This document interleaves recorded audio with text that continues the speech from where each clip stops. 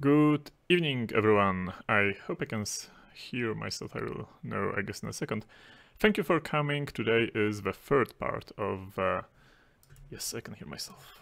Um, the third part of um, Honorary Bot's Windows kernel debugging series. There will be another part tomorrow, so um, I will... Well, I already invite you to it, but I will remind you about it, I guess, after uh, Honorary Bot stops his mm, live stream, which will take about, I guess, one and a half hour today, same as last week. One more note is that MurmusCTF is going to actually start streaming right after this live stream, so once, well, my stream is over, you can switch to his channel and watch him try to find bugs in uh, Windows 95, I believe, or Internet Explorer in Windows 95 or something like that, something crazy like that, so that should be an enjoyable stream.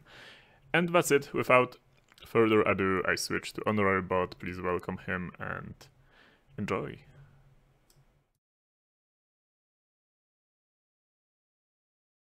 Yeah, hello everyone. Uh, Artyom Honorary Bot uh, Shishkin is here. It's the third part on Windows kernel debugging series. And today I'd like to talk about virtual address space that is on Windows, right? But uh, we've been talking uh, a lot about WinDBG, about setting it up, about how to use that. And although I'd like to talk mostly about the virtual address space in Windows, random kernel questions are appreciated today. You're welcome uh, to like some for some off-topic questions, but about Windows kernel, I'll try to answer answer them. So, yeah, uh, I'd like to share my approach on debugging and reverse engineering stuff. So, uh, I've been watching for um, some CTFs, right? I got my friends that play CTFs, and when I look how they do that, because I'm too lazy to play those, uh, they mostly operate um, like this. They got a random like executable, and they start like trying it out, launch it, see what happens inside, and they're more about the logic of this executable so uh, my approach is a little different. I prefer to work uh, from the environment.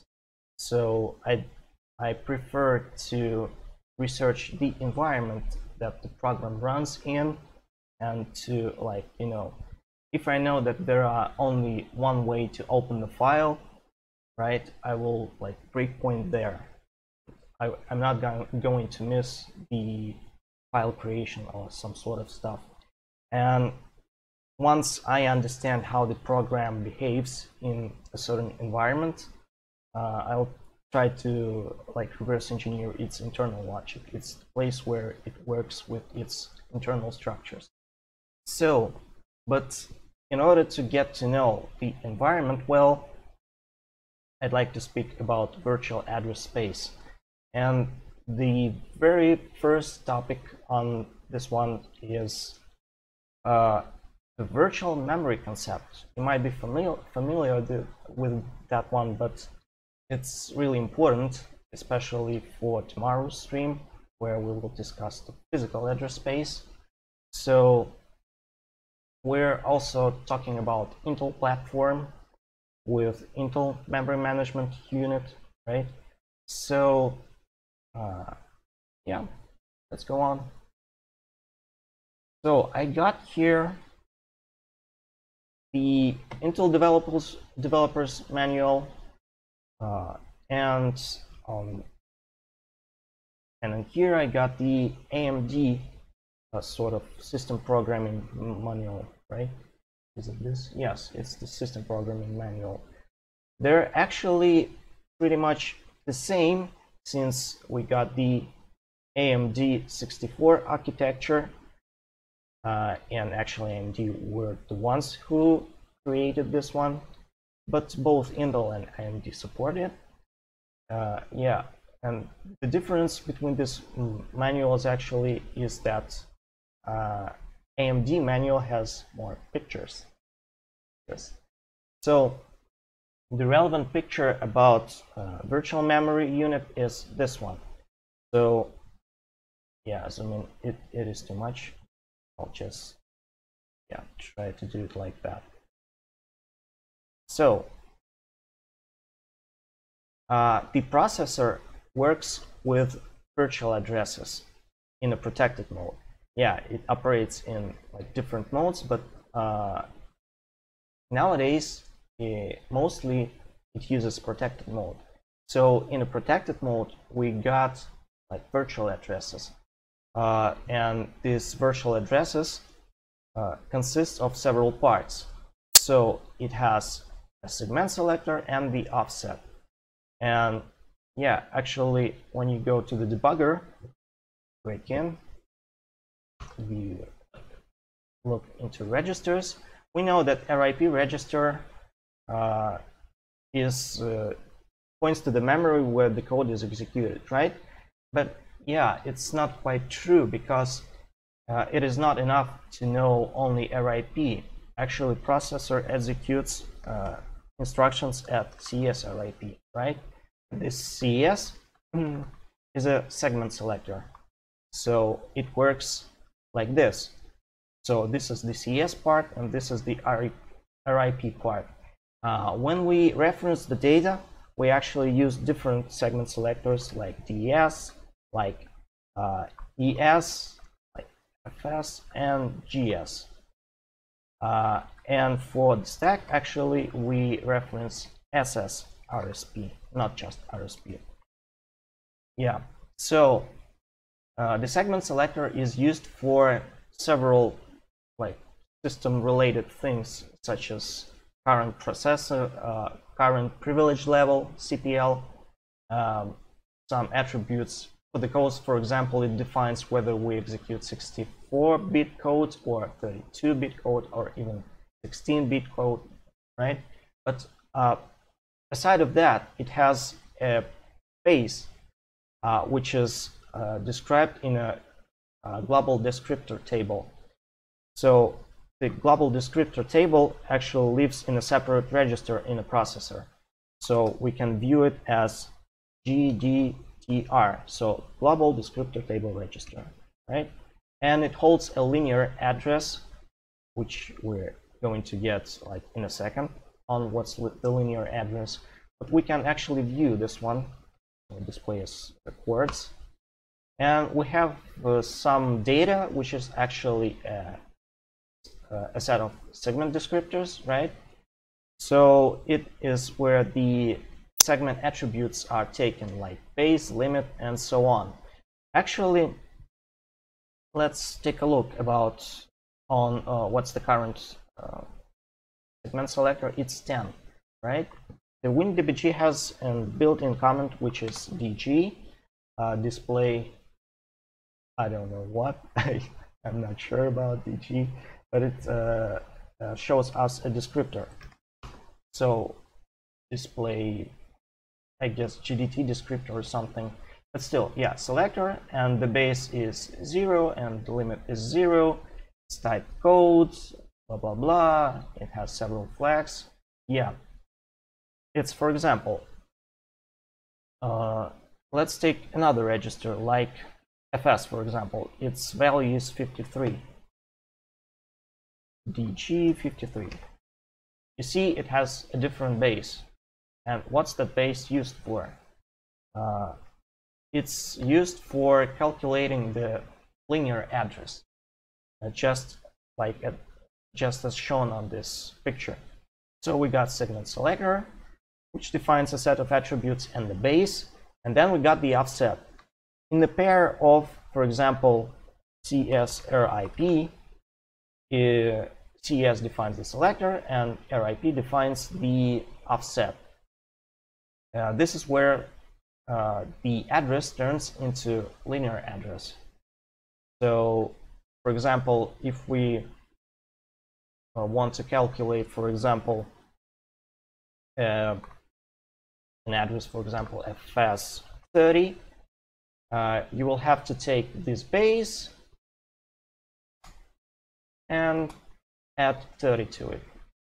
It's that simple. So um, it was sort of a brief exp explanation of segmentation, yeah, because it's not the point.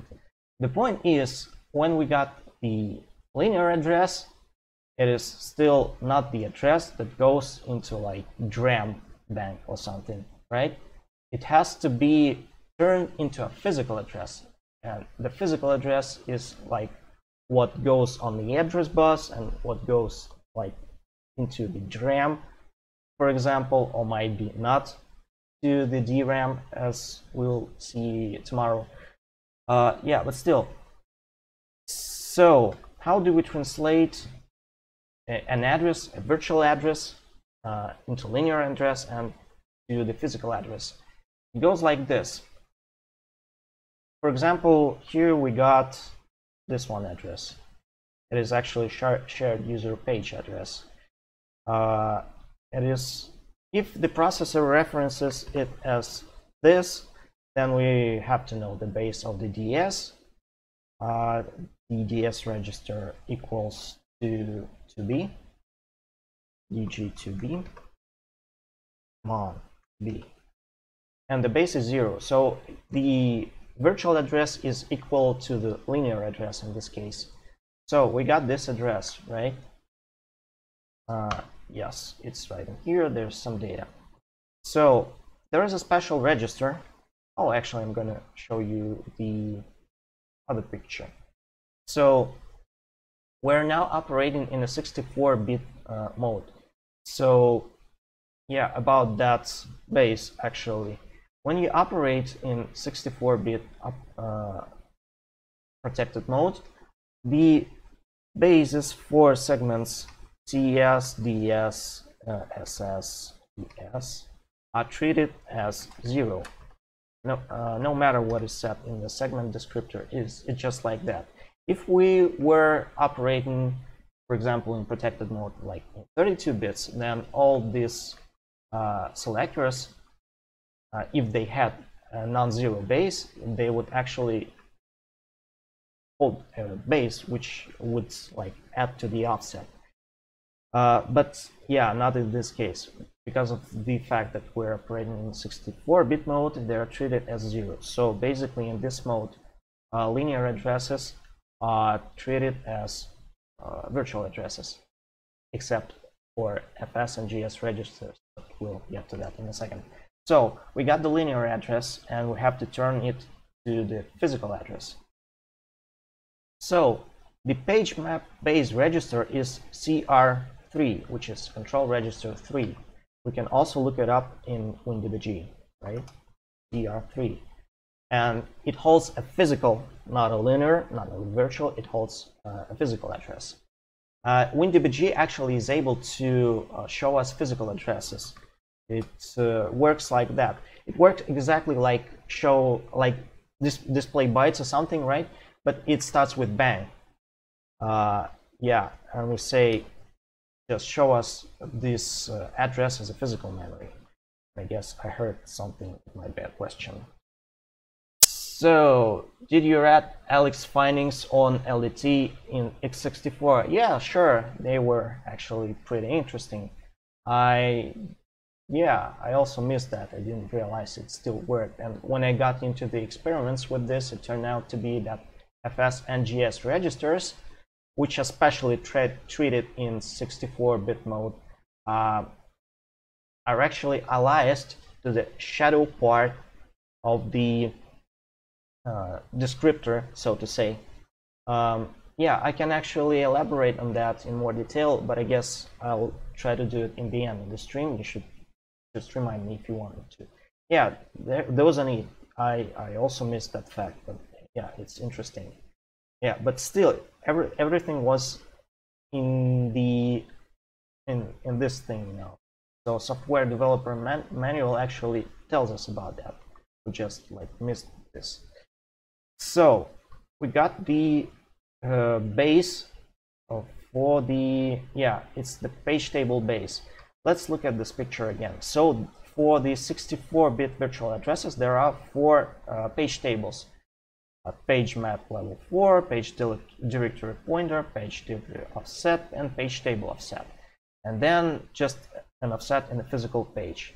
So the, the point is that virtual memory is um, built in sort of chunks, sort of blocks, which are called the pages. The um, so to say standard, the pages might be different in size. Uh, in 64-bit mode, they might be like 4 kilobytes, uh, 2 megabytes, and 1 gigabyte. Yeah, depending on how many uh, page tables you're using for mapping the virtual address into physical one, right? So, uh, yeah, and for example, we, we took this address, right?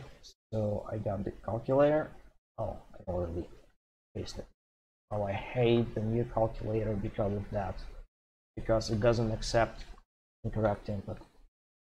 So yeah, we got the virtual address. So how it is divided. First of all, uh, in current implementations, only uh, 48, yeah, 48 bits are used for virtual addresses. So this set of bits is actually unused uh, while um, while traversing the page tables, right? Uh, actually, there was a recent update to the manuals uh, where it says that it's going to be 56 bits for virtual addresses soon, but not now. It's going to be later. So uh, these bits are not used. And then the virtual address is divided in uh, this matter. So the lower 12 bits are just the offset in a, in a page, right? And then we got the groups of nine. We got one, two, three, four, uh, one, and this one. So this group of nine, this group of nine. I don't anything? This group of nine? And this. See how beautiful it is. Uh, the reason I didn't draw anything in here it's because it's 9 bits so it doesn't actually uh, except for the lower part which is 12 bits which is kind of divided like that uh, the other parts are somewhere in between bytes. So I prefer to use the binary view. And yeah, so the first table, we take the first table, actually uh, what it consists of is called page table entries. It's that simple. And they're 8 bytes in size, so we display words. See, we got this structure is called the page table entries. Uh, we're not going to discuss uh, about what it consists of, although we might. Why not? So the relevant bits for now is the first bit, which is bit 1, uh, which says if this uh, page is actually present or it, in terms of Windows kernel, is it valid. So if it maps anything because you know virtual address is not necessarily mapping anything. It could be just unmapped so when you reference this address a page fault occurs which means that the MMU unit memory management unit cannot translate this virtual address into physical one. And it like hey operating system what do we do, we do about this? And there are the cases. Uh, so yeah Mm, what do I need to do now? I gotta take the 9 bits of it from from here, right? So 1, 2, 3, 1, 2, 1, 2, 3, 3, 1, 2, 3. So this ones. So it's not 1, 1, 1, 1, 4 ones, 1, 0, 4 ones. Okay, I'll use the other calculator. So it's uh, Oh, it doesn't matter. I can use this view. So 1, 1, 1, 1, 0, 1, 1, 1, 1. And the hexadecimal uh, number is 1EF. We'll use this to find out the index of the page table entry for this virtual address in the first uh, page table. So we need to do this. And we got to multiply it by 8 because, yeah, you know, the size of page table entry is 8. So we're going to evaluate this expression like that. And yeah, here it goes. Let's check this one. Yeah, it has a valid PTE because yeah, you know it's it's the odd number. So it's valid. We can actually see the next page table. Uh, and for that, the lower 12 bits actually has some meanings like whether it's user uh, uh, page or the the kernel page, was it accessed, is it uh, like read protected, is it valid, is it cacheable, and this sort of stuff. There are a lot of bits meaningful in that. So we just erase them, these meaningful bits, and we got the address. Yeah, here goes the next page table. But if we see the address which we use, we can see that those groups are zeros actually, right? So what we have to do is to take the first page table entry in the next uh, page table, right? So it was the first, fourth level. Now we got the third level. We and then we got the second level. And then we got the page table entry. It is already uh, a physical address uh, for this virtual address. And here are some, some bits interesting. For example, this, the highest bit uh, actually means that this memory is not executable. I'm gonna erase that. And we got these lower bits where, which also were like system use. And we, oh, we have to display it as physical address. Yeah, let's check this out. Here we got the virtual address and this data. And now we've traversed this virtual address uh, into a physical one and we display bytes. Yeah, it seems to be working. Actually, there is a more efficient way in WinDBG to see the mapping of the virtual address. Uh, it's called the PTE and it does everything for us It just walks through the table. It show us, shows us the flags which are inside the PTEs. For example, this is the valid mapping. This is, uh, oh my gosh, I guess it's, oh yes, it's executable. Executable in the page table, I guess it means that it, it can be traversed. Yeah, if, yeah, I think it goes like that. So this one is writable, this one is kernel, accessed and dirty. Accessed means that this mapping was accessed and dirty uh, means that it has been modified, right? And also this flag means that it is global. We'll get to that in a second. So actually, yeah, this is it's the most difficult part, but it's also the most important part. So uh, the thing is that uh, the operating system uh, operates with virtual addresses because of the way the processor works in its protected, protected mode. So I got a question. So does the MMU contain the whole memory mapping at all the time? Yeah, that's the point. It has uh, some mappings for some virtual addresses all the time, right? But it is not necessary to, like, if you have 48 bits of virtual address spaces. This is hell a lot of uh, memory, you know, uh, way more than you can like afford today.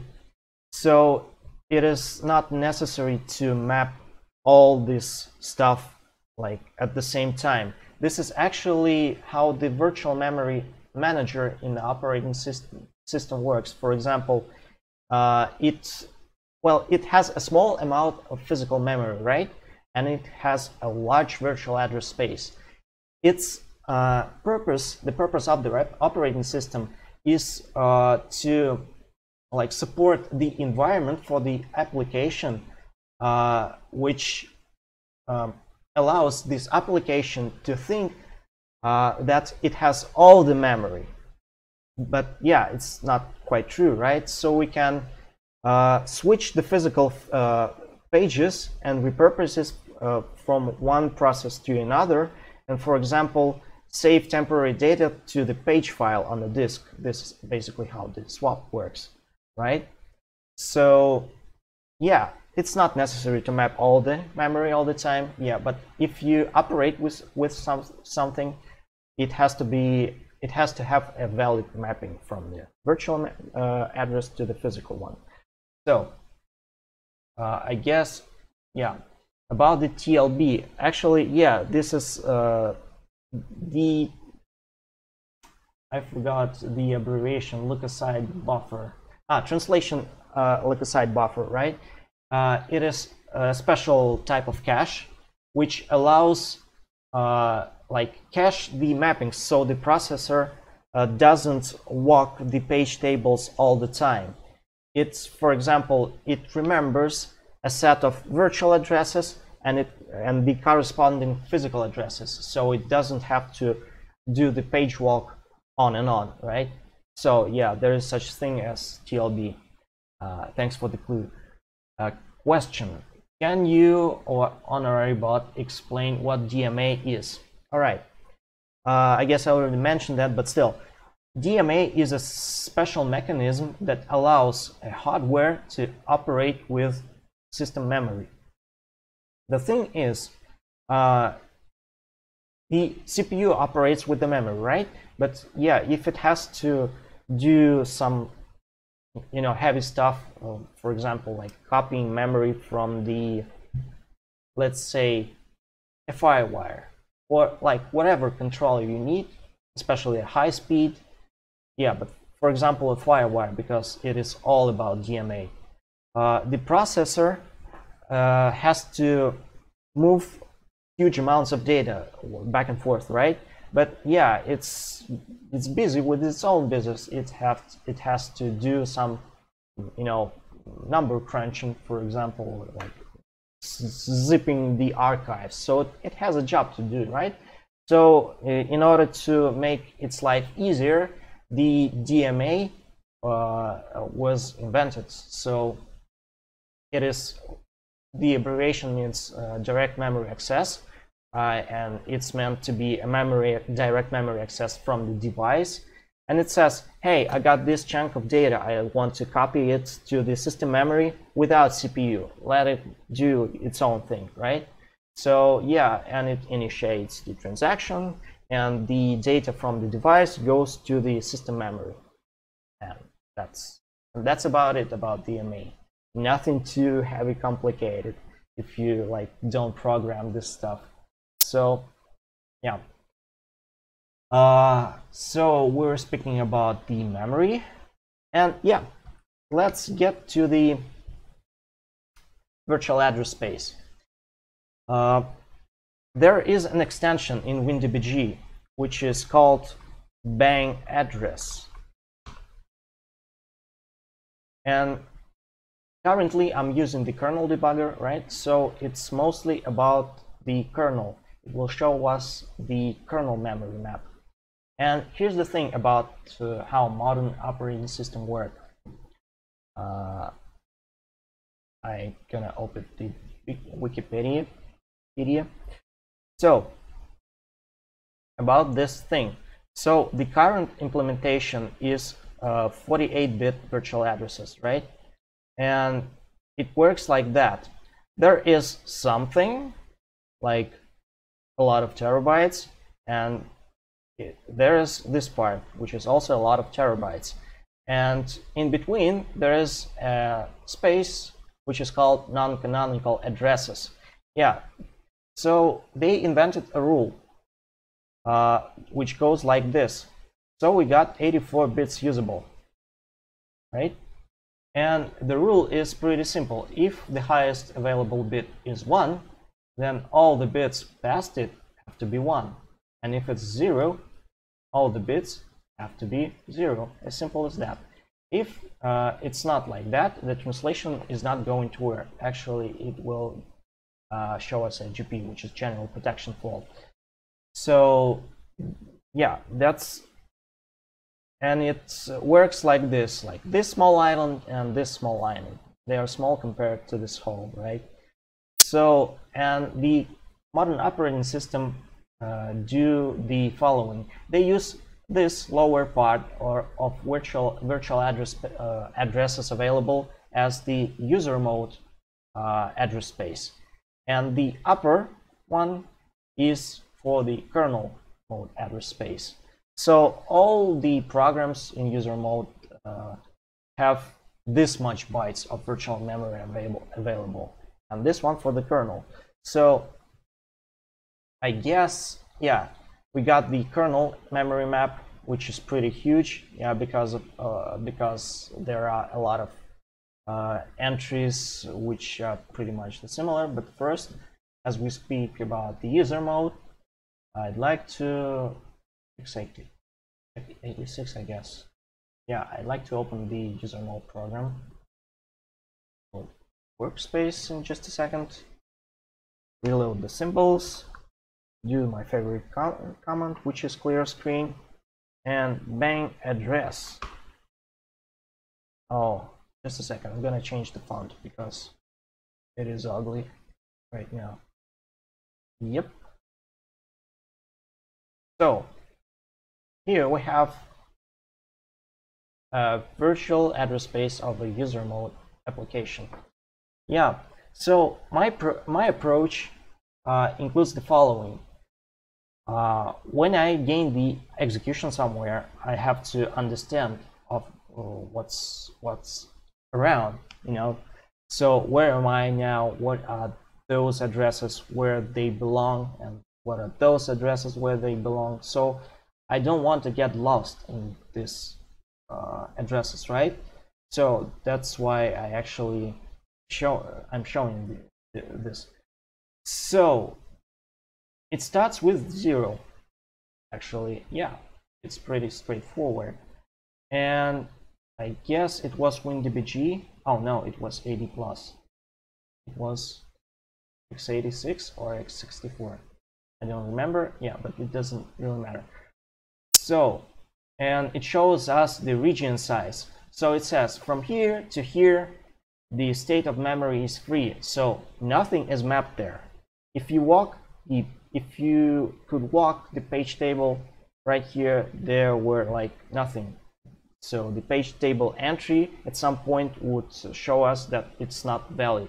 So there's no mapping and if you like reference this address it will give us a page fault right so which eventually turns inside the windows kernel into for example access violation yeah so the next region is actually well i didn't expect to, to it so early but still it's the user shared data it's a notice noticeable uh, page actually because it is ha it has the same virtual address among among all the processes uh, on Windows. Yeah, we have this uh, thing like uh, address space layout randomization, but it doesn't touch this one because it is supposed to be there all the time.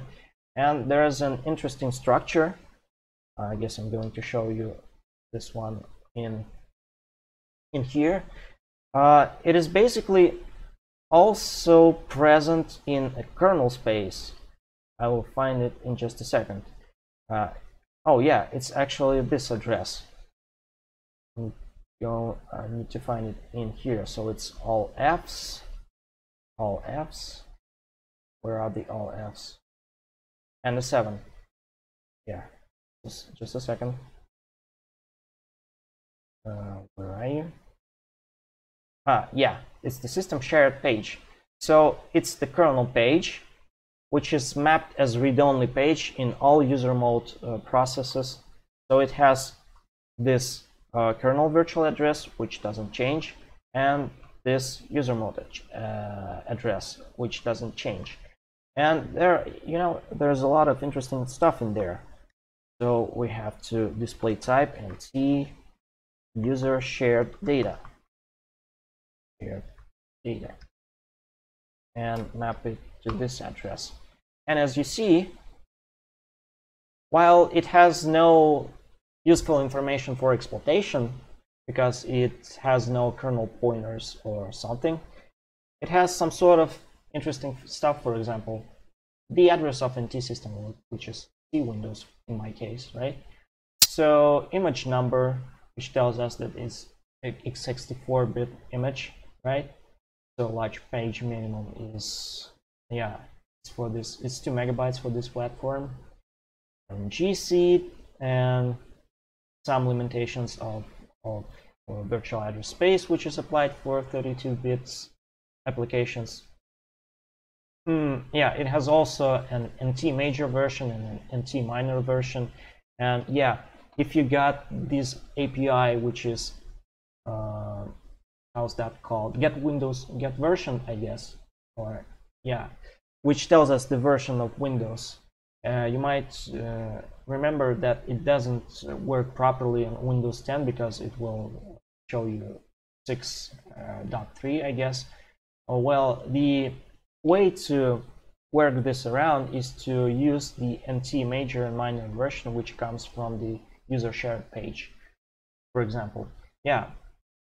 Also, there is an interesting flag, which means, hey, the KD debugger enabled, so you're under the kernel debug now, and you understand that. So every process actually knows that it is being debugged, not just debugged, as we might look up in the PEB uh, process environment block, but yeah, it has also knowledge about it's being debugged with the kernel debugger. Uh, yeah, it is sort of anti-debugging trick based stuff. So some policies, what I'm actually looking for is, yeah, tick count. And there is a system timer which ticks, which is used for, for scheduling. And if you like disassemble its handler, the interrupt handler for the system timer, it has like, it directly increments this field since yeah the user share, shared data is uh, always in the same virtual address it just yeah increments this value right in here so yeah um, some extended states yeah so there are some interesting stuff which is available even from the user mode but yeah we see it is read-only it is supposed to be read-only because it's a kernel page uh, in origin so let's get to the next range. So it's free, no access, unknown, and private. Oh, it's some private memory which is unknown to the debugger, which is surprising because debugger, uh, yeah, mostly it knows about the region it operates in. Yeah. So we got this thing which is called PEB, which is Process Environment Block. So it's a special uh, region of memory that holds the information, oh, it's in TDLL, I guess, about the current process. So you might also observe this one. And yeah, here's our favorite flag. It says that it is being debugged. Yeah, we can actually map this one. We got the extension bang PEB. Yeah, it displays in its own flavor, but yeah, we only need its address so we're going to map this one like this. Process environment block. And yeah. Hmm, being debugged. Interesting. Maybe it's because it's launched under the WinDBG, right? So yeah. Uh, image base address, uh, which is pretty much interesting for this one. And we got LDR. This is actually the loader database because it holds the database of the of all the modules that are loaded, loaded in this uh, process. So we got process parameters and some locks and system stuff, global flags. Yeah, so you might also observe this one. Oh, it also has like OS major and minor version, which I guess the correct values. Uh, yeah, so Let's go to the next range. So process environment block is one per process, which is obvious, right? Uh, uh, but yeah, we also have structures that are called TEB, which is thread environment blocks. And there may be several thread environment blocks. It's basically one per thread. Yeah, and if you have like heavily multi-threaded applications um, with many threads, there will be like one TEB for every thread. So we got this address. Let's, we also might look the contents of this one with TEB and this mapping. So it has all sorts of stuff there are like for this current thread. So environment pointer, blah blah blah. Yeah. So yeah, you can also check this out. The next one. Next one is the stat. It is also an attribute of a thread. Uh, and it is actually the place where our RSP register is initialized. Yeah, it is just a region of memory that is used for the stack. And then also we have a set of regions which have the PE image inside. Yeah, it is where it's mapped, fixed, and executed. Also the code which is executed is generally uh, from the images, right? So it has to be uh, somewhere right there. You can actually see that um, you know that PE files have several sections and these uh, sections are uh, actually mapped as different regions of memory because they utilize different protection constants, for example. Uh, yeah, so that's it. And also we got a heap. So when you first initialize the process, the, there is a default heap. Uh, I'm sorry about this clumsy like so we got this heap address but yeah actually I've scrolled through the process environment block and it actually has a list of heaps inside it uh, let's take a look so yeah uh, heap heap heap heap segment commit uh, yeah for example yeah number of heaps maximum number of heaps and this one process heaps yeah you can use the API which is heap create uh, for creating several heaps in the process. Yeah, because heaps have different attributes like low fragmentation heap, for example, and you can utilize separate heaps for separate purposes. Yeah, so this is where our dyna dynamic allocations come from. So the other region is API set map, which is used for looking up the correct version of the DLL for this certain program. Yeah, because of uh, backward compatibility or some sort of stuff. Uh, system default activation data and activation context data is used like for COM objects. Yeah, so this is goes for this. Yeah, we may see that this process actually has several hits. So yeah, there's several hits. And we also may have different mapped files. Yeah, but one mapped file will there will be there for sure. It's the NLS. So NLS stands for National Language System, and it is used to uh, for translating from ANSI or whatever code page you use to Unicode, uh, or maybe in the opposite direction. Yeah, and this uh, conversion mappings are stored in these files which is initialized during the boot process. It has a valid kernel mapping. Yeah, it is also mapped as read-only since its origin is the kernel. Yeah, and it is mapped into all the processes. Uh, yeah, so we also have some chunks of page file. So there goes the different modules, uh, which are basically the DLLs that are used. And then we have uh, the region which is no access. So about this zero address, uh, back in the days of Windows 7 until some patch, uh, I'm not sure which one, but yeah, there was a possibility to allocate the virtual address at zero. There's a special system call was used for it. It was like allocate virtual memory. Memory. Allocate. Mem what do I write? Memory. Yeah it's, it's there. So it's a system call used to used for a virtual memory manager yeah, uh, which allocated the memory. So, scroll up. Yeah, you could actually actually allocate this, and this was used for exploiting the kernel mode drivers. Yeah, uh, the ex exceptions or vulnerabilities which were null pointer dereference. So yeah, they use the null pointer, but yeah, we turn this null pointer into a valid pointer. We like fake the data or something.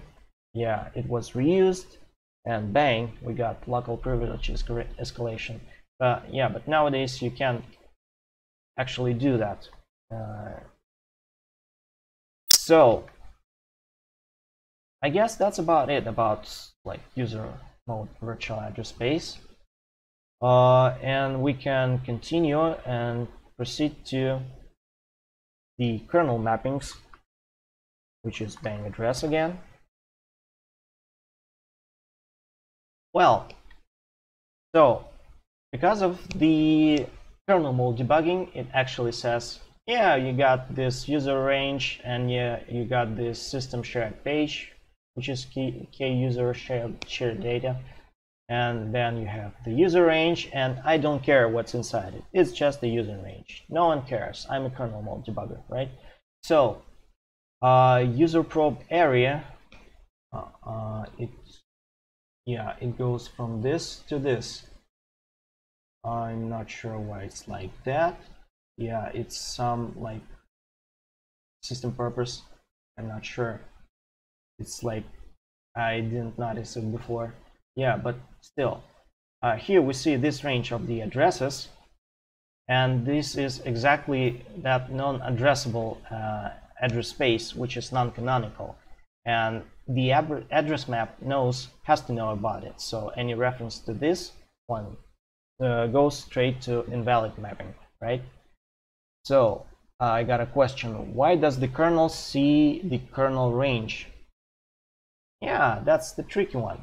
Um, but yeah, we're gonna have to get back to the segmentation stuff. All right, no problem. So, uh, uh, oh, user range. Why does the kernel see? Well, it's it's no different. It's actually doesn't matter. Uh, the mechanism is basically the same. So, uh, as I said before, the instructions are being executed at this one at, at this one right so we got cs and it is currently uh, this one right so i'm gonna use this one dg so it has a base zero limit zero because basically those fields are ignored in x86 mode so the type code blah blah blah and flags where the rpl um, yes. Oh, no, no, no, no. It's fine. So the thing that matters is that selector is uh, consists of several bits. Yeah, in just a second. I'm gonna look it up uh, to show you the picture. So it's protected memory mode management and using segments, basic flat model, blah blah blah In just a second to see you the format of this segment selector and it goes like this so basically the first bits of this value are this ones so RPL is requested privilege level.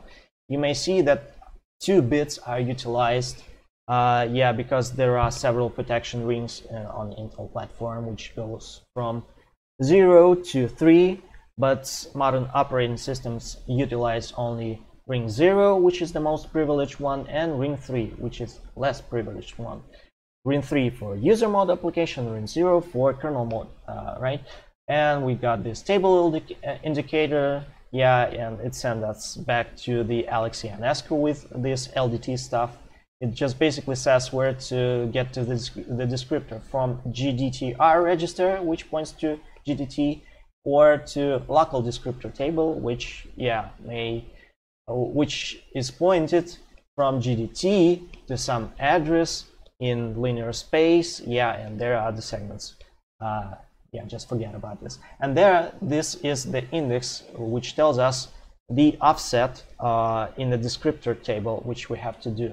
which we have to take. But yeah, but now uh, those two bits are relevant for now. So we see that this uh, number is actually four, four, oh, what's wrong with me? Formats. So binary, we see the lowest two bits are zero. It means that we execute code with uh, zero privilege in CPL zero, in ring zero, which is the most privileged one. Yeah, and because we're now in kernel. Yeah, I've stopped in the kernel. For example, if you take this one, uh, we see that lower bits are 1, 1, which is 3, and it says that it has a ring 3 privilege. If you fetch, fetch some data using this register, it, it is going to be like user mode access. And yeah, this that's about the segmentation. And now we're gonna get back to the PTE. And if we take, for example, this address, which is pretty much kernel one, we see that actually it is uh, it's a large page, so we cannot actually see it in here. Uh, let's try this one. Yeah, yeah, that's an issue of WinDBG because if it uses the large page, actually, uh, yeah, wait a second it actually shows that it's a kernel address. But yeah, to make just to make sure, uh, you see, the PTE has a bit in a like. Remember the page table entry? It's 8 byte in length, and the least uh, 12 uh, bits are describing these flags, this set of flags, right? And one of those says if this page is user mode or kernel mode. So it's user supervisor in terms of uh, Intel documenta Intel's documentation.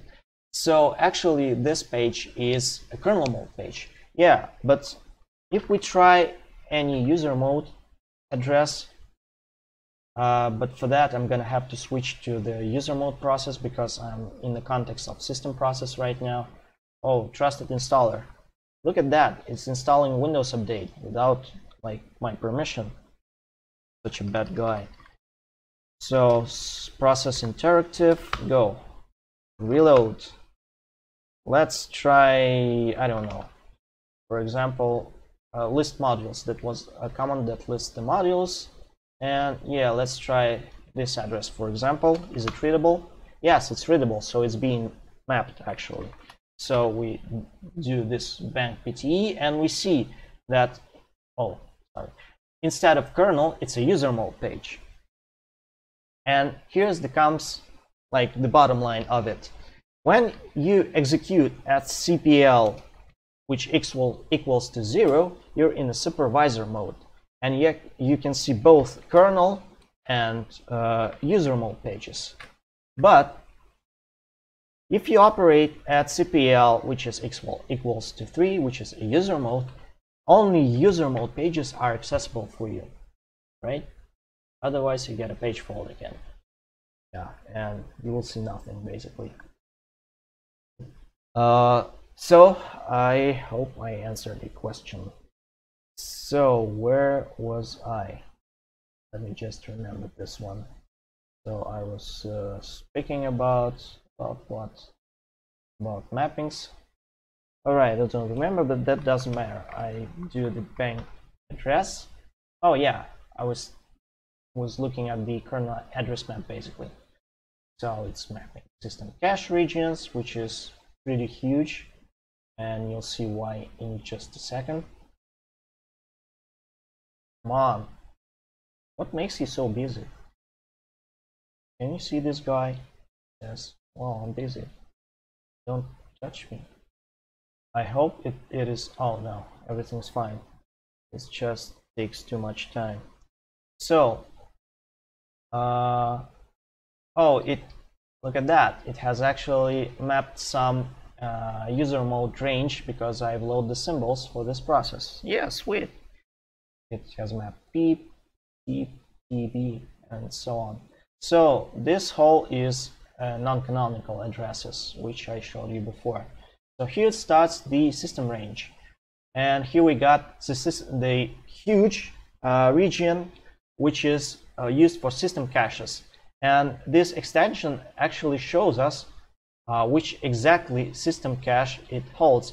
I guess it holds 228 kilobyte, kilobytes of data, which is actually a part of some file. And we can see that, yeah, this is an attribute for some file, uh, I mean a directory, as, as you may see here, has uh, um, mapped MFT mirror. Yeah, this sort of stuff is used for NTFS uh, file system. So there are huge uh, of volumes of data which are mapped from the uh, your hard drive to the memory, which is used for cache for faster loading, but not only for faster loading. For example, the um, yeah, there is a read ahead feature which uh, uh, reads the data from the disk asynchronously while you use the like read file function. There's also uh, uh, an inverted mechanism which uh, is lazy write when you do some write file API it just writes it to the memory and then there's a worker thread that flushes this memory uh, back to the file system on your hard drive.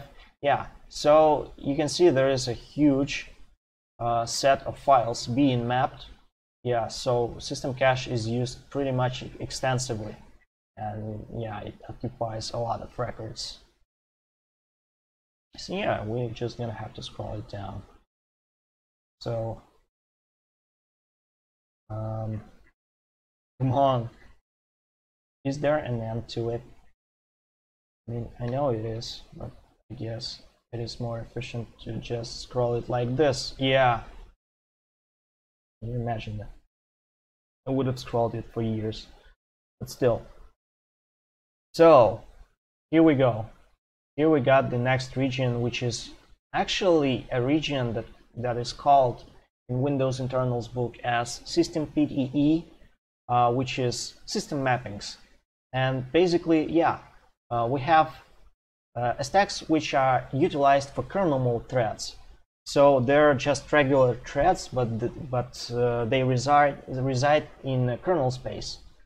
So yeah, there are a lot of worker threads, you know, doing its own stuff. Uh, what I want to show you that they're rather small. They're like six pages. So yeah, so recursion is not uh, recommended when you write drivers. Yeah, because there's not enough stack memory in kernel. Yeah, and there's a reason for that. For that, I forgot to say you, but uh, it's important. The kernel space Where's my picture? I guess I closed this one. I'm gonna show you in just a second. Um, where's my Google? Yeah, here it is. So, uh, while this region is a kernel one and the kernel is just a singleton you know it's sort of entity that is one for everyone. It is always there and is always the same while the lowest part which represents the user mode process is switched all the time. It is uh, private to each uh, process.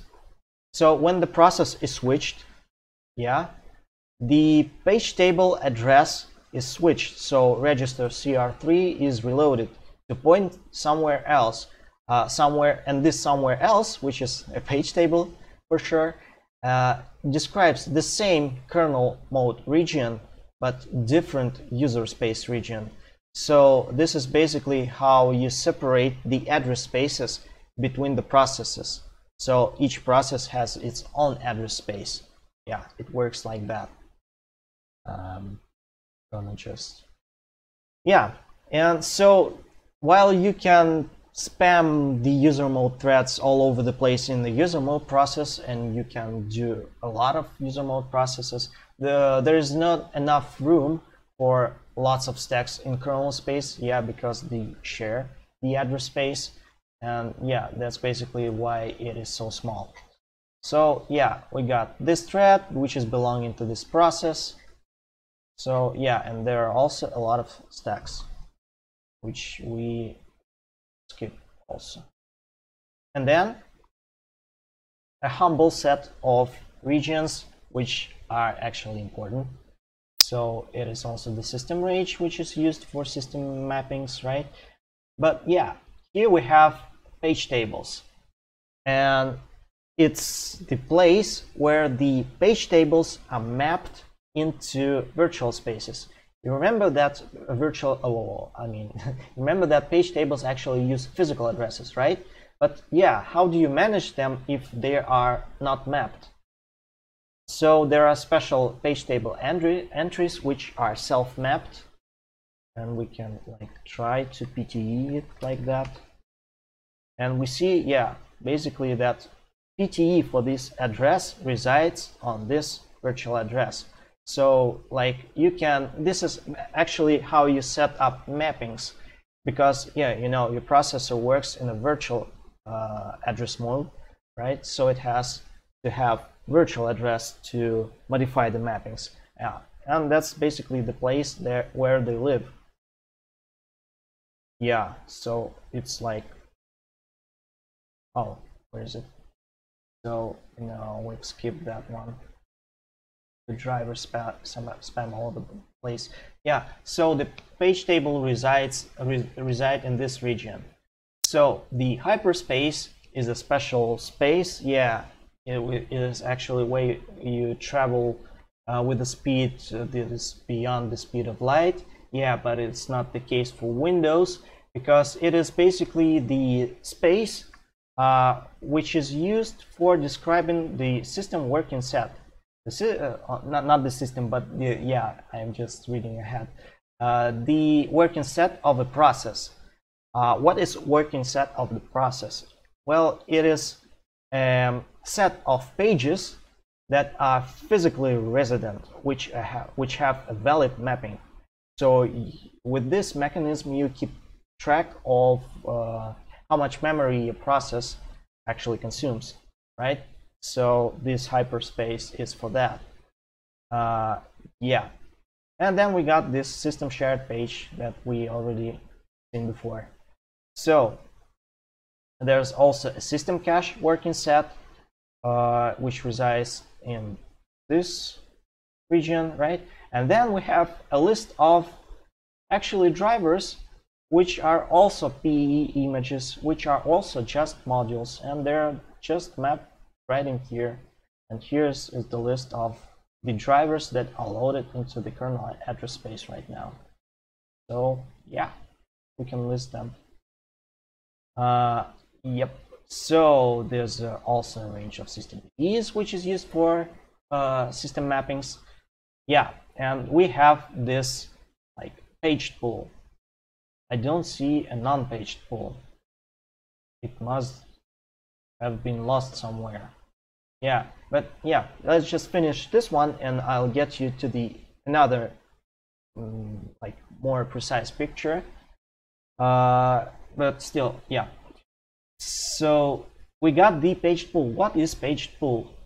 It's it's first of all it's a pool, and the pool is a synonym uh, for heap. So in user mode, you have a region of memory that you can dynamically allocate, uh, and it's called a heap. So it's the same thing, but for kernel mode. So it's the region where you can dynamically allocate in free memory. So it is called a pool. It has somewhat the same uh, internal structure as the user mode heap. Yeah, but not really. So they have something in common. They're a little different, but still. Uh, yeah, it, the, pool resembles the heap in a certain way.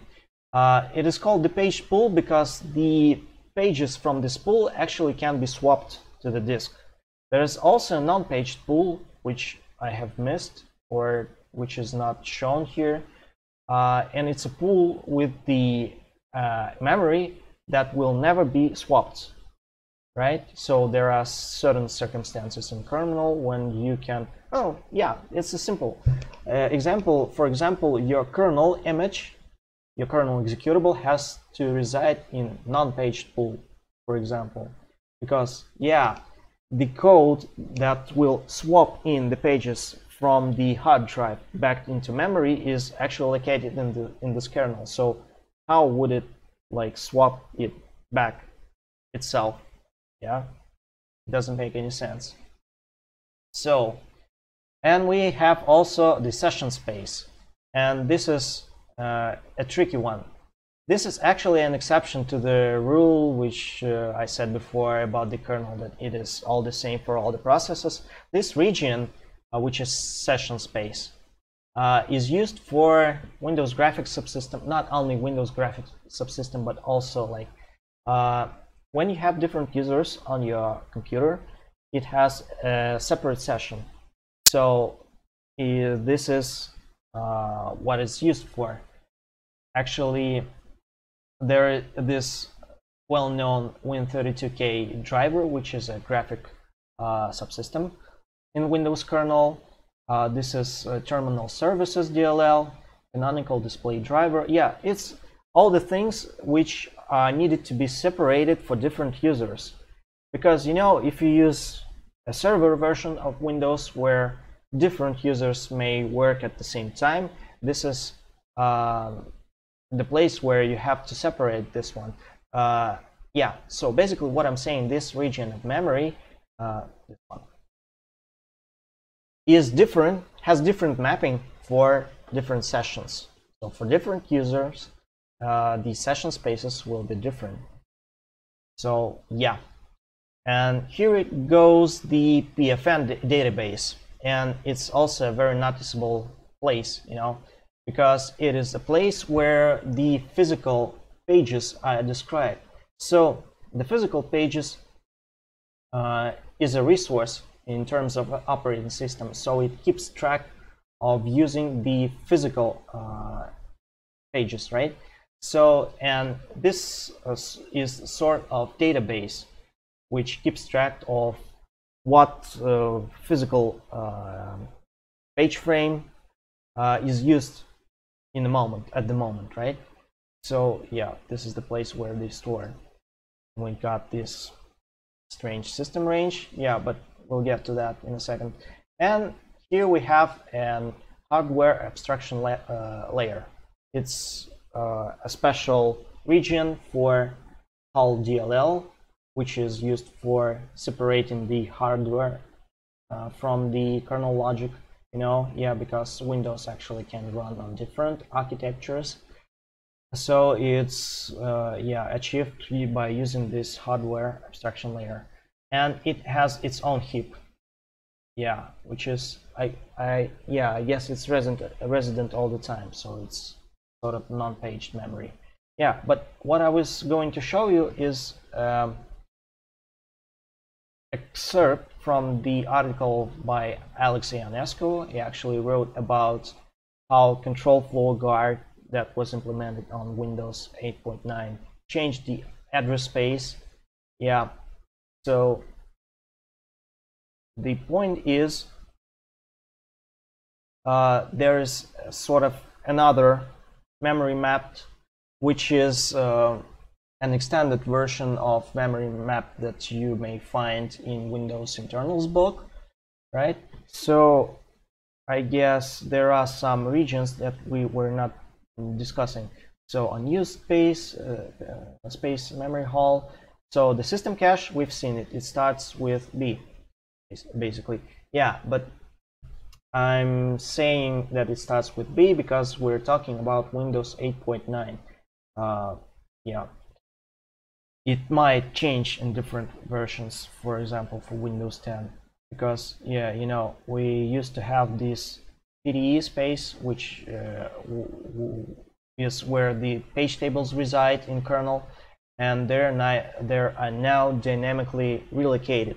So each time the kernel loads it has a different address yeah um, I'm not sure about the system cache but yeah it may change so the system uh, cache, the page pool, which we're discussing, so the system PTEs, uh, yeah, here it is, the non-paged pool. It's the region of addresses, which uh, may be used for dynamic memory allocations, which are not going to be swapped.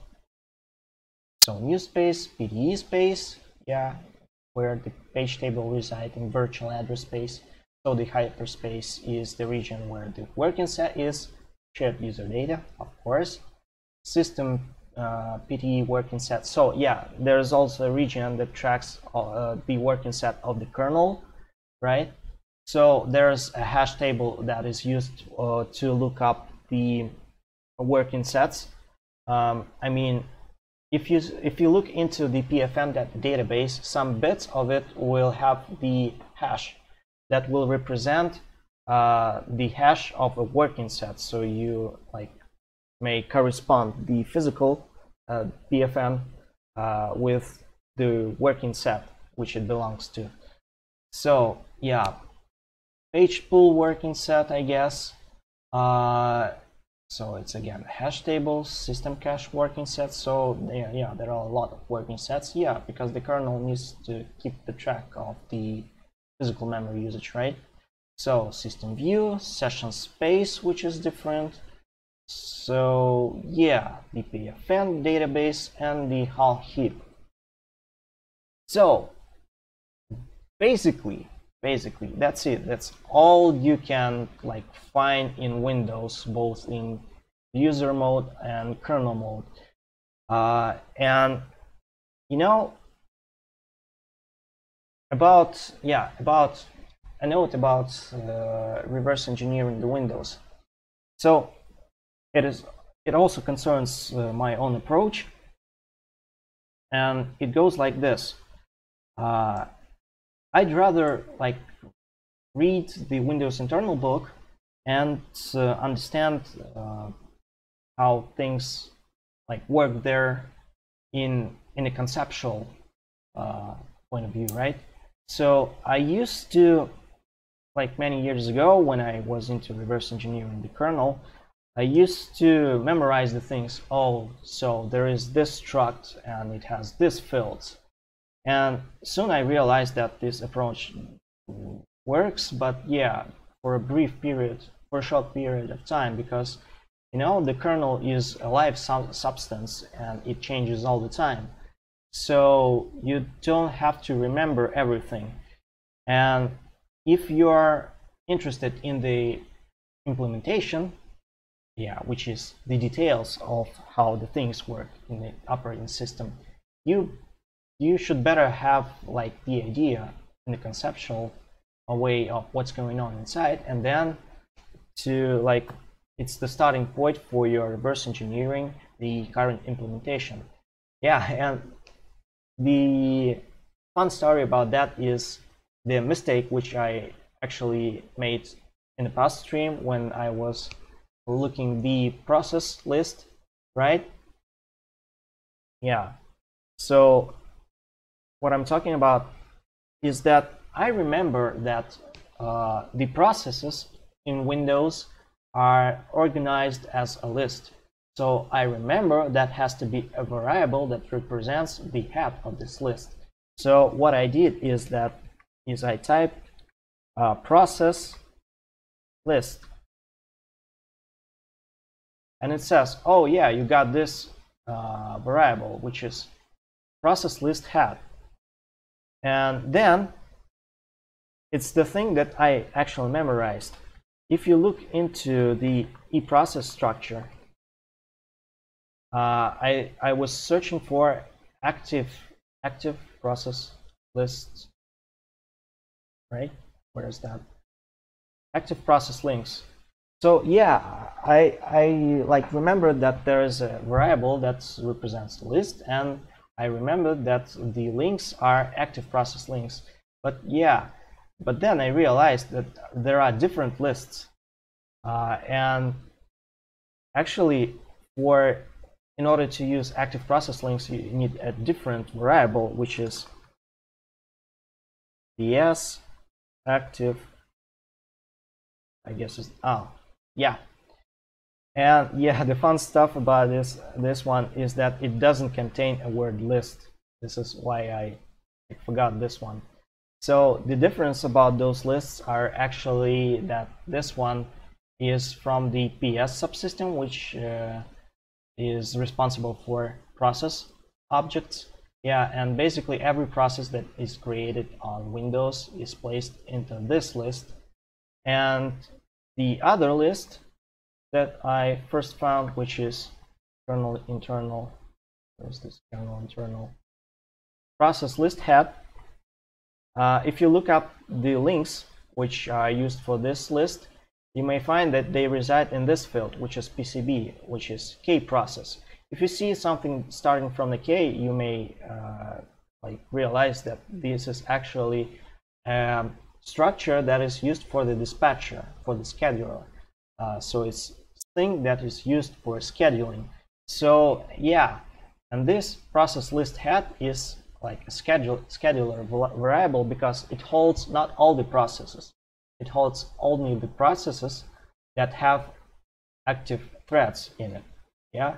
Because scheduling on windows is thread based so yeah basically it's it's the way that i reverse engineer windows yeah it may be a failure sometimes but yeah because of the confusion still the most common like approach is searching for certain variables and look them up in here. So uh, I guess I've uh, told everything about virtual address spaces what I wanted.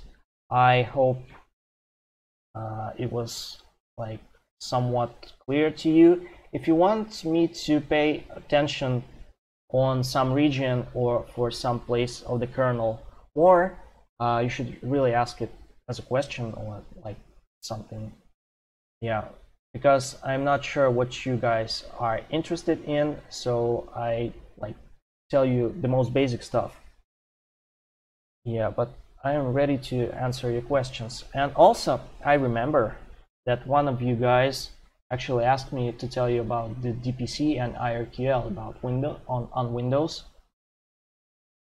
uh yeah so I will tell you this as I promised. So the concept of IRQL is uh, like that. So there are different interrupts that may occur on Windows, right? Uh, it is actually not Windows specific. It's hardware specific. Yeah, but in terms of Windows, there is such thing as an interrupt. It's an asynchronous event that may like interrupt your execution at, at any given time. So uh, I'm not going to lie, uh, but I think there is no such thing as IRQ, IRQL on Linux. Gynvael, correct me if I'm wrong. Yeah, but yeah, on Windows, the interrupts are prioritized. So every interrupt, uh, let's just take a look. There's an extension that uh, is called Bang IDT, which shows us an interrupt descriptor table, but also the interrupt uh, um, service routines that are bound to it. So these are the exceptions, but yeah, here we have like USB port, which is, uh, it's not the IRQ, it's the IDT, IDT vector. So it's USB port, USBXHCI, audio. Uh, so yeah, you see that there are many sources of interrupts and they are prioritized uh, on Windows. So when you connect the interrupt uh, object with the with your driver, when you uh, write an interrupt service routine for that, you actually specify this thing which is called an IRQL, which basically means the priority of uh, the corresponding interrupt. So, but it not not it is not all, only used for uh, interrupt prior prioritization. It is also used uh, for thread pri priority, priority, priority. So, uh, so priority zero is uh, called IRQL, which is passive level. It is level zero where all the threads run. Uh, then we have an APC level, which is one, uh, and this is um, a priority level uh, used for APC, which is asynchronous procedure procedure call. They, those are actually uh, thread specific. So this IRQL is thread specific because APC are bound to the threads. So this is sort of like uh, events. It is somewhat uh, they're they're like signals on Linux because, for example, there is a special APC to suspend the process or to terminate this process. So it uh, it interrupts the uh, thread that is run running on a passive level and does some stuff. So as you see, uh, it has a higher priority, so that's the reason it interrupts the passive level. Yeah, and then we have a DPC level, which you asked for. So actually, it's uh, it is also not related to hardware interrupts or something. It is used for scheduling. So it is basically the event where the scheduler works. And the scheduler is basically switching the threads or something like that. And it is actually a higher level than this one and this one so this may interrupt these ones right? I'm i'm going to check out the mumble just in a second. So there are different questions and i'll i'll get to them.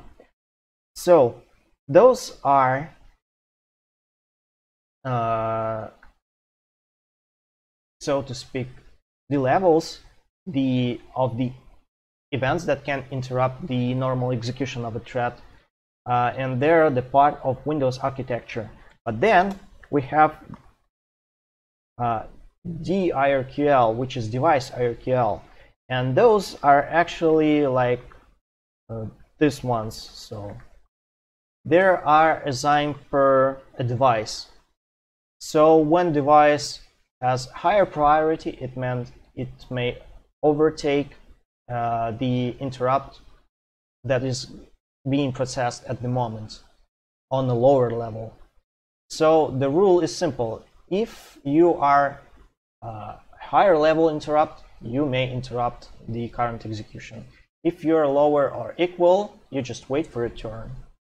And yeah, some details of on implementations about that is that on x86 system systems you have just a variable uh, that is actually an attribute of a core. Yeah because IRQLs are bound to the processor cores so different cores, might have different IRQLs let's just see. There's a bang IRQL command uh, in WinDBG to see the current IRQL so it's low level so basically uh, I guess we're executing in some program or in kernel mode thread, yeah, on low level. So it is not dispatcher or something. But yeah, we can check out different cores. So IRQL is also low level, also low level. So they are all low level. Oh no, you see, the core, which is the third one, is currently at dispatch level. And why? Let's see that. Where are we now? Load. In order to find out why it is dis dispatch level. In just a second. Um, um, um, there's the mumble. So yeah, I'm gonna speed the things up, I guess. Uh, yeah, and the implementation uh, detail about the x64 platform is there a special register added for uh, long mode, which is CR8, which holds the current uh, interrupt priority. So it's TPL, uh, red priority level, I guess. So, sort of like that. And actually, if you see what's inside there, it is F so it is actually high level. So um, yeah it is because of the kernel mode debugger running. It is running with interrupts suppressed yeah because it has to be like in a tight loop. So if you like uh, see the direct the immediate value of cr8 it is high level which is f. Yeah but the saved IRQ, IRQ level which is what it was before the kernel debugger were broken was like the dispatch level. So yeah, basically it's like that. It's just the way the execution preempts different execution unit. So yeah. I'm going to proceed to the other question. How does physical address extension work? Yeah, this is sort of thing which is used for 32-bit uh, paging. You see, if you uh, open the chapter 4 of uh, the volume 3 of Intel Software Developers Manual, there are different modes of paging. So basic 32-bit paging uh, utilizes two levels of, of uh, page tables. So CR3 points to uh, page level 1, then page level 2, and then the PFN. So there's a limitation for this one. We can address only 32 bits, right? So that's the reason why physical address extensions were invented, so to, so to say. Uh, and it uses a different, um, how to say, so it utilizes different number of bits in the virtual address and it adds a top level directory pointer. So you can have additional directory pointers where you may look up the page table entries. And with this uh, sort of stuff, you can address up to 60, oh, not 60, but 36 bits. So this is basically how it works. It's just different uh, page table structure and different uh, virtual address layout. So yeah. Uh, I guess in the context of using more than 4 gigs of memory in 32-bit address space. Uh, you know, yeah, it was actually a different question, but still, uh, you can uh, address more than uh, 4 gigs of physical memory, physical but your virtual address space is still limited to 32 bits. So you can have like two or three user mode gigs, uh, depending on settings on your 32-bit operating system, right? Yeah, but in order to use more than this, let's say more than two or three gigs, there is a special uh, API set on Windows which is called Address Windows Extensions. And it works like like that. You just allocate the window which is going to map different physical addresses so you can have more memory but you use only like this small window to look through it. So you just remap it all the time. So here you have it. It is called window address window in extensions. So you can read about this that in here. So there is no magic. Your virtual address space remains 32-bit in length. So I think you went over this, but can you force a process to run at uh, ring level 0? Well, uh, let's say it like that.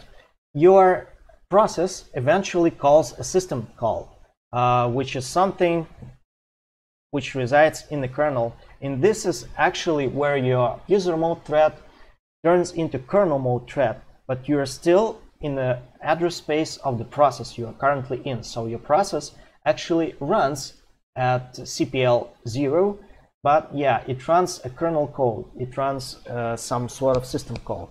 But if you're guessing, if you're saying that you'd like to execute your own code at CPL uh, 0, then yeah, you either have to write your own driver uh, or to find some exploitable bug in Windows and like do the local privilege escalation.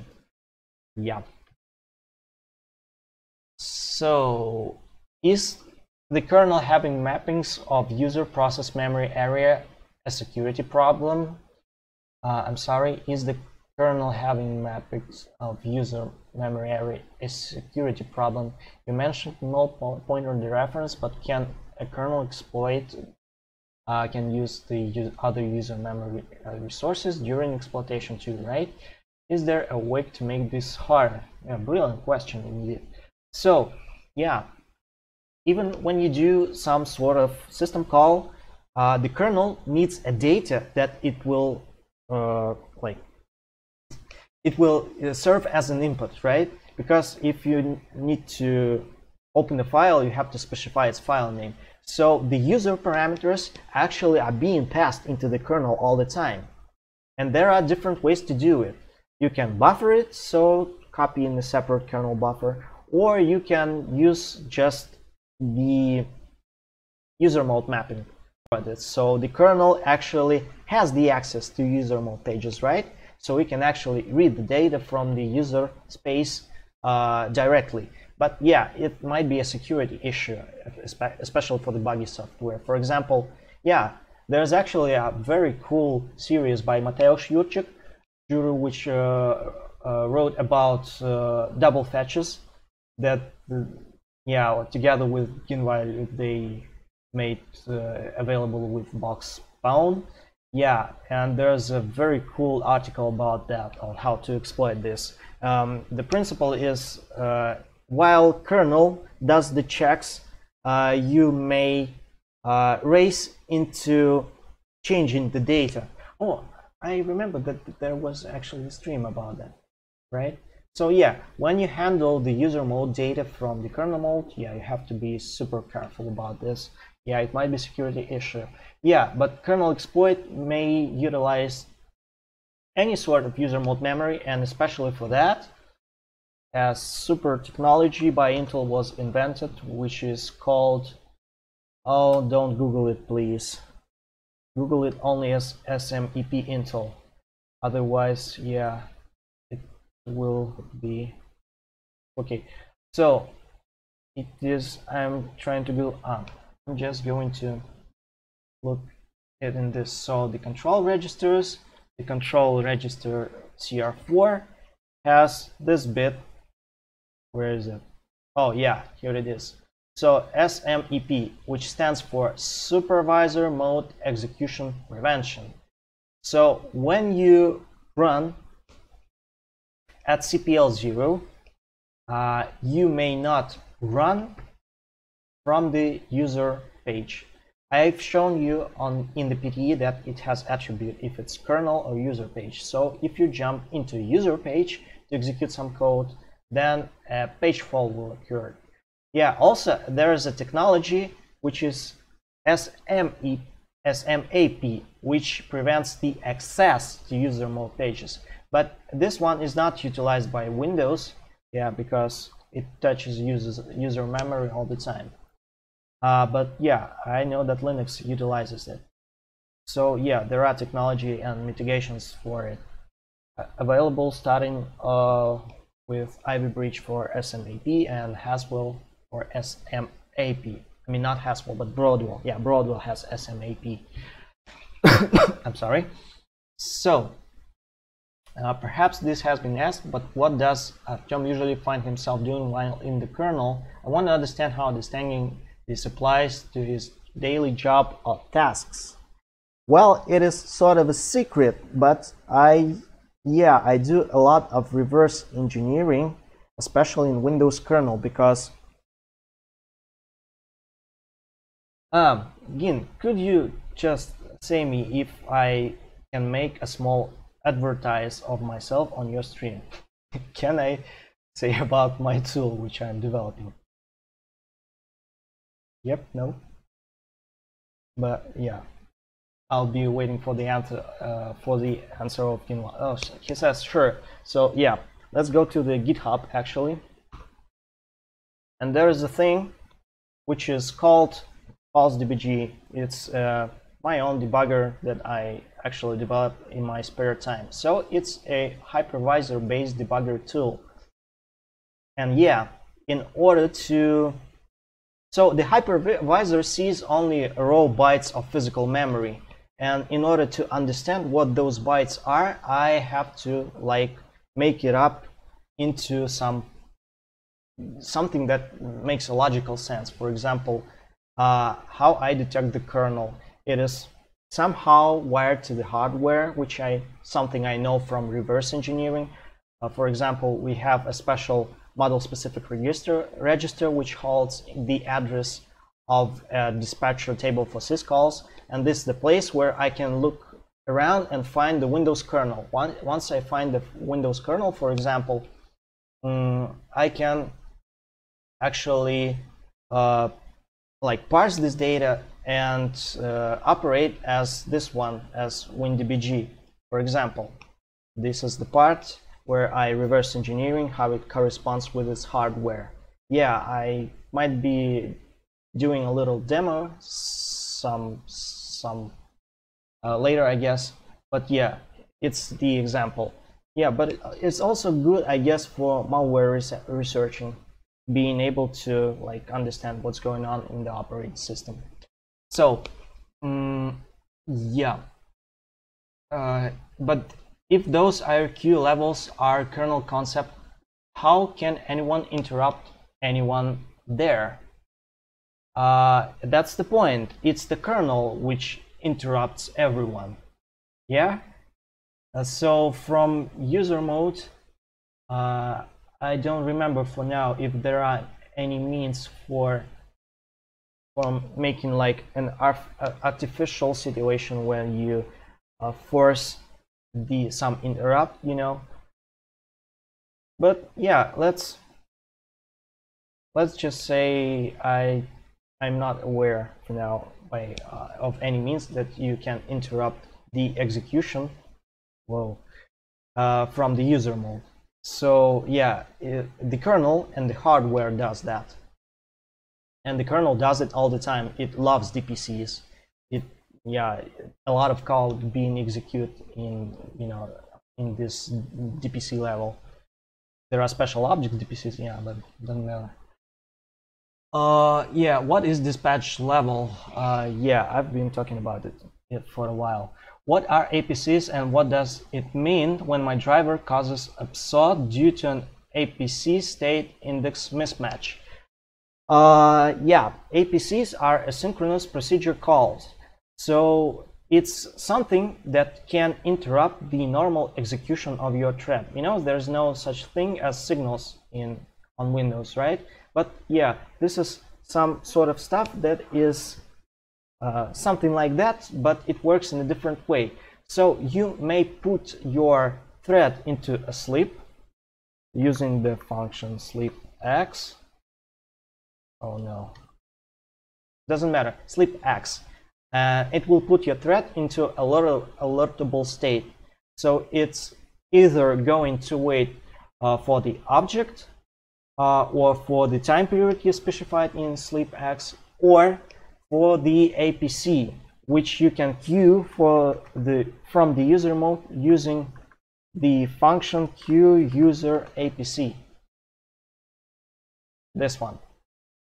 So it says I want to send an APC to this thread with this procedure and it will send and if the thread was in the alertable state, it will wake up and execute this procedure. This is actually how the hijacks uh, work in Windows also. Because yeah, when the thread is starting, you may inject an APC into it. So I hope I answered your questions. Oh, yeah, about that BSOD. APC state index mismatch means that, uh, from my experience, uh, most of the times what it happens is when you have attached to a different process and you forgot to uh, detach from it or yeah it is it has something to do with the attachment of the process. The attach process actually changes the current uh, address space which is re reloading the cr3 register which we've been talking about on the stream.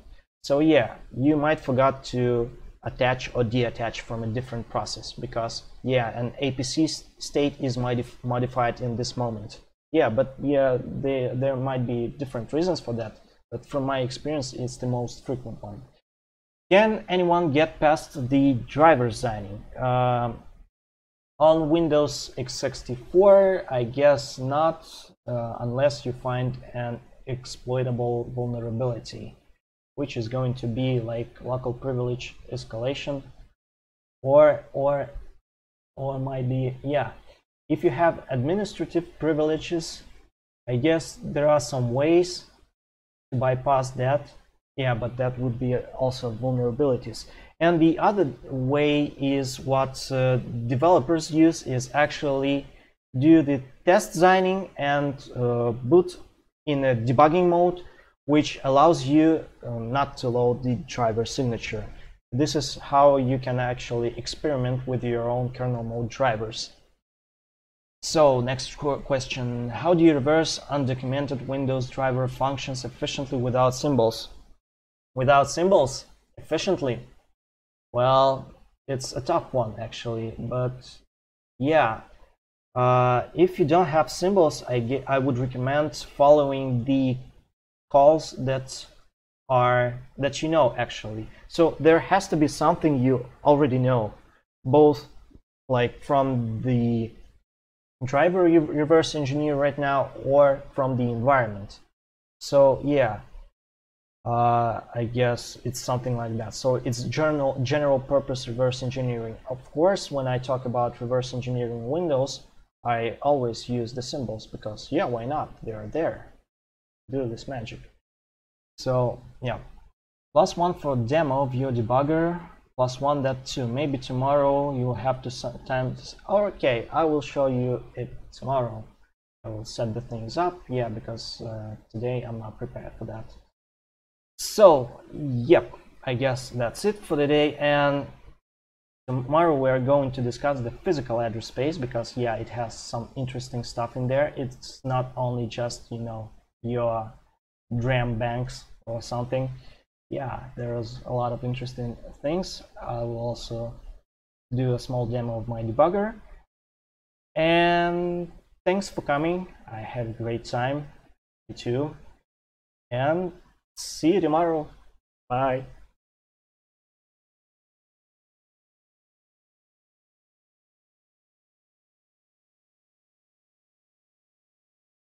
Okay, unmuted. Now it's better. Thank you very much, Artem, for for doing the stream. I really enjoyed it as usual, and I learned a few tricks as well. So it was productive time for me. Um, and I really hope you're going to show your debugger tomorrow as well, since I'm quite quite interested in, in hypervisor mode debuggers. That's actually a really cool topic as well. Cool. So um, if you enjoyed today, you should totally be here tomorrow because there will be the fourth and the last part of Honorary Bots series on Windows kernel debugging. Apart from that, uh, CTF is going to start his stream like just after the stream ends. So if you want more security stuff, more vulnerabilities, more low-level stuff, basically just switch to his channel, which is YouTube slash C slash CTF. There's going to be a link just on the screen, the next screen. So that's it. I'm going to leave you with uh, some music, the ending screen with the new mission, and uh, and yeah. Thank you, Honorary See you tomorrow, everyone, and happy hacking and enjoy MurmusCTF show on his channel. So, bye bye, and see you tomorrow.